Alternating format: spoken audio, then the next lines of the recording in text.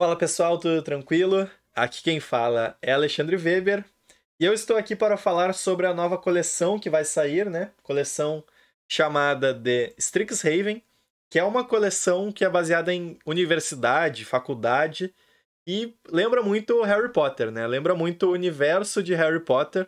Inclusive tem cinco casas que lembram muito as casas, né, de, de Hogwarts, né? Sonserina, Hogwarts, uh, Grifinória. E também cada uma dessas cinco casas tem um mascote, o que eu achei bem legal. E também cada uma dessas cinco casas tem um dragão. E os dragões, eles são extremamente imponentes, né? São bem fortes. Aqui não tá mostrando nenhum dragão. Mas cada uma das casas vai ter um dos dragões. Até o momento só foi lançado, só foi mostrado o dragão BW, né? O dragão preto e branco. Mas as casas são preto e verde, que é Witherbloom.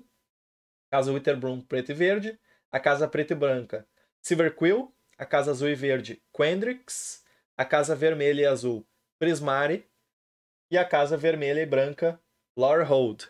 Então achei bem interessante nesse sentido, né, que tem essas cinco casas. Vai ser uma, uma coisa parecida com Guildas de Ravnica, mas eu quero falar sobre uma mecânica específica, né, que esse é o tema desse vídeo. Eu quero falar sobre a mecânica Learn e a mecânica Lesson, né? São duas mecânicas complementares, né? Uma uma tá completamente interligada à outra, mas eu vou falar mais sobre isso. Então, para começar a explicar sobre essa nova mecânica, eu tô aqui com a carta Pop Quiz, que é uma instantânea de 3 manas, sendo uma mana azul, e tu compra uma carta, depois tu faz Learn. Learn é o seguinte, tu pode revelar uma lesson que está fora de jogo, está fora completamente fora do jogo e colocar ela na tua mão. Para quem não sabe, em formatos construídos, fora de jogo significa sideboard. Então a carta com lesson tem que estar no teu sideboard. Quando tu faz o learn, tu pega essa carta com lesson que está no teu sideboard e coloca na tua mão. Então esse é o efeito do learn. E caso tu não tenha nenhuma carta com lesson no teu sideboard, tu pode simplesmente descartar uma carta e comprar uma. Então tu, nesse caso aqui, tu vai comprar uma, depois, se não tiver, se tiver uma lesson, tu pode pegar do teu site e colocar na mão. E se tu não quiser, ou por acaso tu não tiver nenhuma carta com lesson, tu pode descartar outra e depois comprar mais uma carta. Então esse é o efeito do Pop Quiz. O que eu achei interessante, né? Como vocês estão vendo aqui, é uma carta comum, ou seja, vai ser válida no formato Pauper. Então essa é uma mecânica que vai ser válida no formato Pauper, né? Uma mecânica bem diferente, né? A gente nunca teve essa, esse tipo de mecânica de pegar cartas de fora do jogo, eu acho que elas. Esse tipo de mecânica pode realmente ter um impacto na, na, no formato, né? Pode ter um impacto. As cartas elas estão bem equilibradas, né? Elas não estão muito fortes, mas, de, mas o fato é que elas podem sim ter um impacto. Então eu mostrei uma das cartas com Lesson, que é o Pop Quiz. Eu vou dar um exemplo de uma carta, uma carta com Learn, que é o Pop Quiz. Eu vou dar um exemplo de uma lição, né, que vocês podem pegar, colocar no sideboard, que é o Pest Summoning. Então, por exemplo, Pest Summoning é um feitiço de 3 manas, feitiço Lesson de 3 manas, sendo duas híbridas pretas e verdes, que tu cria duas fichas 1/1, e quando elas morrem, tu ganha um ponto de vida. Então é uma carta que tu pode buscar diretamente do teu sideboard, dependendo da situação de jogo que tu se encontrar, tu pode, ah, caso eu esteja precisando de dois champ block, por exemplo, ou de ganhar dois de vida, sei lá, de alguma maneira, tu vai lá e pega o Pest Summoning do teu sideboard. Então, dá uma flexibilidade bem grande pro teu deck, né? Essa é uma mecânica que pode, dependendo do que for lançado, ela pode sim ver jogo, né, no formato. Claro, ela tem algumas outras cartas raras, então tu utiliza a mecânica Learn para buscar uma carta de Lesson do teu sideboard. Algumas outras cartas que já foram lançadas. Tem o First Day of Class, que é o primeiro dia de aula, né, em português. Que é uma instantânea de duas manas, sendo uma vermelha. Quando uma criatura entrar no campo sob o teu controle nesse turno, tu coloca um marcador mais um, mais um nessa criatura, e ela ganha ímpeto até o final do turno. Então é bem importante, assim, né? Às vezes tu faz um monte de criatura. Começa fazendo ela e faz um monte de criatura, um monte de ficha de Goblin. Vai colocar marcador em todas essas e vai dar ímpeto para todas. Só que, além dessa carta ser uma carta interessante, ela também tem essa mecânica de learn, que é a mesma coisa, né? Tu pode pegar uma carta do teu sideboard com lesson.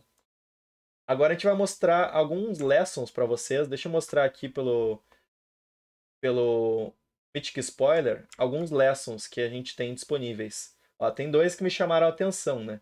Tem essa, esse feitiço aqui, ó, três manas, que é o Introduction to Prophecy, Introdução à Profecia. É um feitiço lesson de três manas incolor, não tem nenhuma cor. Tu faz evidência 2, tu compra uma carta. Daí vocês vão falar, nossa, mas Preordem é muito melhor do que Introduction, Introduction to Prophecy. Não, de fato, né? Preordem é uma mana, Introduction to Prophecy é três manas. É tipo muito muito melhor Preordem. Só que a grande a grande sacada dessa carta é que ela fica no teu sideboard e tu pega na situação específica que tu precisa. Então, se tu precisa fazer evidência 2 e comprar uma carta, tu vai lá e deixa ela no teu sideboard. Quando tu for fazer essa mecânica, tu pega essa carta quando tu precisar ela. Se tu precisar fazer ficha, tu pode pegar a carta que faz ficha. Então tu faz isso nesse sentido, né? Algumas outras cartas que também foram lançadas, ó, tem essa aqui também, um Lesson, três manas, coloca dois marcadores na criatura alvo, ela ganha vigilância até o final do turno. Então tu pode colocar dois marcadores em um ninja, por exemplo, e ele ganha vigilância e bate, sei lá, numa fada. A fada bate 3-3. Então são várias cartas com lesson que ficam no teu sideboard e que elas vão se ajustando de acordo com o que tu precisa no momento. Por isso que é tão forte, apesar dessas cartas em si elas serem fracas, né? Já que, por exemplo, essa carta tu, tu nunca colocaria ela num deck de Magic, mas colocá-la no teu sideboard Claro, tu está perdendo um pouco de espaço no teu sideboard para colocar hates né, contra o deck do oponente, mas fato é que ela vai dar uma flexibilidade para essa mecânica. Não aprendeu com Companion. É, ela lembra muito Companion, né? Claro, tu tem que usar bastante slots do teu sideboard para ter essa versatilidade. Mas mesmo assim, eu acho uma mecânica que à primeira vista, né, vocês devem estar tá vendo algumas cartas não tão boas assim, devem estar tá pensando: "Nossa, mas essa mecânica parece meio fraca". Se tiverem só cartas fracas, obviamente essa mecânica não vai jogar no formato e dificilmente vai, vai para frente, né?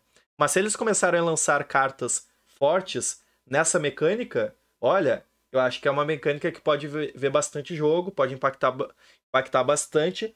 Então vamos ficar de olho para ver como é que vai ser essa, essa mecânica aí daqui para frente, né? Então é isso. Ó, o pessoal tá, tá comentando aqui, ó. Wizards não aprendeu com Companion, Lesson Incolor. Acredito no potencial combeiro de First Day of Class. É, uma carta que ela. Essa First Day of Class aqui, ela me faz lembrar do Goblin Storm, né? Goblin Storm começa. É, mas é foda começar o turno com essa carta, é foda. Não, não. Não, não. Não tem a ver com Goblin Storm. Tá vendo um deck de Goblins? Sideboard Toolbox, exatamente. Tu vai ter uma, uma caixa de ferramentas no teu sideboard, o que é muito, muito potencialmente bom, né? Muito, muito potencialmente bom. E é isso, pessoal. Vamos, vamos ficar na guarda aí como é que vai ser essa mecânica. Se vocês tiverem alguma dúvida, me perguntem nos comentários. E até a próxima. Um grande abraço. Falou!